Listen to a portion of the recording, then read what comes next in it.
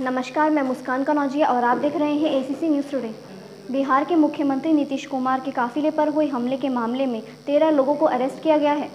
ये घटना रविवार शाम को हुई थी जब सीएम का काफिला पटना गया राज पटना गया राष्ट्रीय राजमार्ग से गया जा रहा था।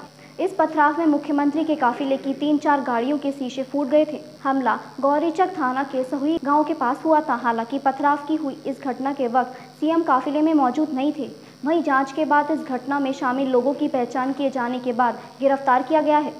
पटना के एक पुलिस अधिकारी ने यह जानकारी देते हुए बताया कि सीसीटीवी फुटेज के आधार लोगों की पहचान कर अब तक तेरह लोगों को गिरफ़्तार किया गया है।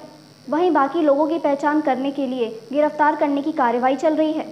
बताया जा रहा है कि सोईगी गाँव के पास सैकड़ों लोगों ने सीएम के काफिले को देखते ही पथराव शुरू कर दिया था। कहा जा रहा है कि लोग स्थानीय व्यक्ति की मौत को लेकर सड़क जाम पर प्रदर्शन कर रहे थे। जानकारी के मुताबिक धनरुआ में एक युवक का शव मिलने से लोग आक्रोशित थे और सड़क पर आगजी कर प्रदर्शन कर रहे थे। इसी दौरान मुख्यमंत्री का टारगेट उस रास्ते से गया, लेकिन जा रहा था। बता दें, नीतीश कुमार का आज यानी सोमवार को गया ज़िले का दौरा करने के कार्यक्रम है। इसलिए रविवार को वहाँ एक अग्रिम काफिला भेज रहा था। नीतीश कुमार गया में सूखे की स्थिति पर बैठक करेंगे। इसके अलावा उन्हें वहाँ बन रहे रबर डैम का भी निरीक्षण करना है। सीएम यहाँ हेलीकॉप्टर से जाने वाले थे और टारगेट से दूसरी जगहों पर जाने के लिए, उनकी सुरक्षा के लिए पटना से गया रवाना किया गया था।